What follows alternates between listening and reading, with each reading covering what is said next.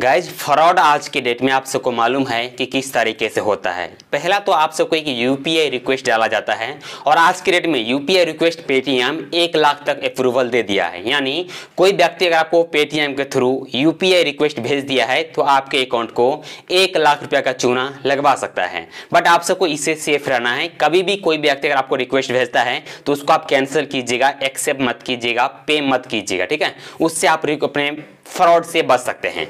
दूसरा बता दो अगर आप किसी कंपनी को कॉल करते हैं जो कि फ्रॉड कंपनी रहता है तो फ्रॉड कंपनी आपसे पूछेगा क्या अपना क्रेडिट कार्ड का नंबर बताइए या, या डेबिट कार्ड का नंबर बताइए? फिर मैं आपको डिटेल्स आपको बताता हूँ कि आपका पैसा किधर फंसा है। तो ये भी जो है फ्रॉड ही होता है। कोई भी कस्टमर या कोई भी व्यक्ति आपको क्रेडिट कार्ड का नंबर और डेबिट कार्ड का नंबर लेके आपके पैसा किधर वेटिंग में है किधर आपका पैसा फंसा हुआ है इस तरह का इंफॉर्मेशन आपको कभी भी नहीं देगा। तो ये भी आपका पहला जो है फ्रॉड में ही आता है। आप सब इससे बच कर रहिएगा। साथ में बता दूँ कि जो भी एप्लीकेशन से स्क्रीन रिकॉर्ड होता है, वो एप्लीकेशन अगर आपको बोलेगा कोई भी कस्टमर केयर डाउनलोड करके आप ओपन कीजिए, मैं आपको हैंडल करता हूँ आपके मोबाइल को तो कभी भी मत कीजिएगा, ठीक है? इससे भी आपको मोबाइल को हैक करके फिर आपके अकाउंट से पैसा को विड्रॉ कर सकता है।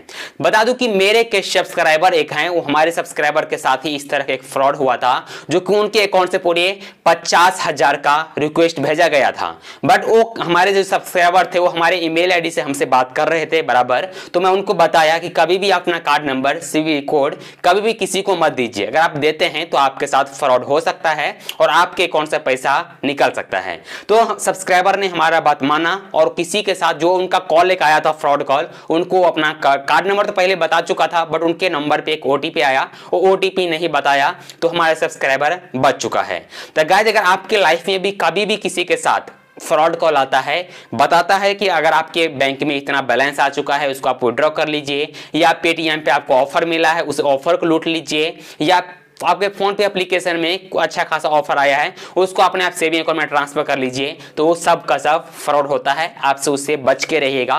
कोई भी व्यक्ति आज के रेट में एक रुपया किसी को देना नहीं चाहता है, आप ये समझ लीजिए कि सामने वाला बंदा आपको दस हज़ार कैसे ऑफ़र के तौर पर दे रहा है। तो इतना ही समझ लीजिएगा आज की डेट में, कोई भी ऑफ़र ऑफ़र नहीं होता है, सब आपके लूटने के चक्कर में आपको कॉल करता है। अगर आप उस कॉल के चक्कर में फंसते हैं, अपना कार्ड नंबर सीवी डिटेल साथ में अपना पर्सनल डाटा अगर उनको आप किसी को बताते हैं हैं तो फिर आपके साथ फ्रॉड होने का hundred and ten percent chance रहता है। या अगर सामने से बंदा कॉल किया है, अगर आप उसी टाइम उसको आप निगलेक्ट कर देते हैं कॉल को रिसीव नहीं करते हैं या कॉल रिसीव की अगर आपको पूछ भी रहा है कि अपना कार्ड नंबर बताइए, मैं आपको ऑफ़र दे रहा हूँ तो अगर आप उस कॉल को उधर ही कट करते हैं, आप फ्रॉड से आप बच सकते हैं।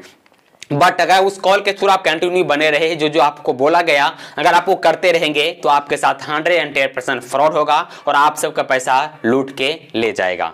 तो गाइज़ अगर आपके लाइफ में कभी भी इस तरह का कॉल आता है यूपीआई के रिक्वेस्ट डालने के, से लेके और अपने कार्ड नंबर डिटेल्स तक तो आपसे कभी भी किसी के साथ शेयर मत कीजिएगा।